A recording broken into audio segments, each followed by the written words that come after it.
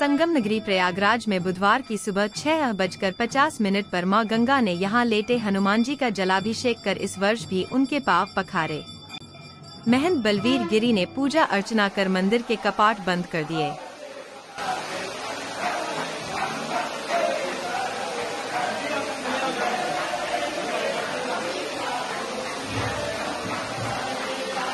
बीते मंगलवार से ही गंगा जी तेज़ी से हनुमान जी की ओर आ रही थी। लगता था जल्द ही हनुमान जी स्नान करेंगे। बुधवार की प्रातः माँ गंगा का जल मंदिर में प्रवेश किया। इस दौरान मंदिर के महंत बलवीर गिरी महाराज ने पूजा अर्चना की।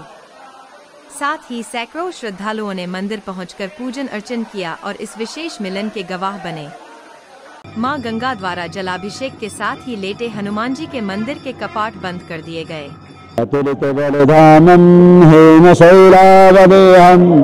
धनुजवन किशानं ज्ञानिनामाग्रगण्यं।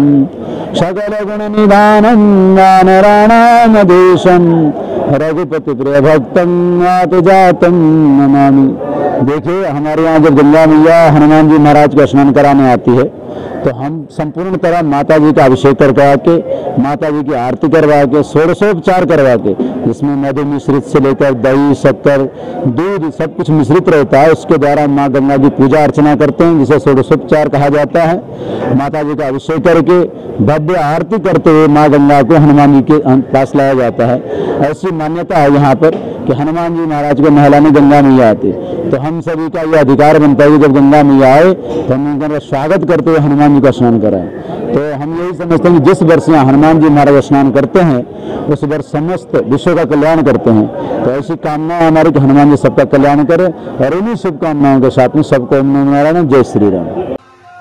बता दें कि जहाँ एक और लोग बाढ़ के नाम से भयभीत हो जाते हैं वही संगम नगरी के लोग हर वर्ष यही कामना करते हैं कि माँ गंगा हनुमान जी का जलाभिषेक करें।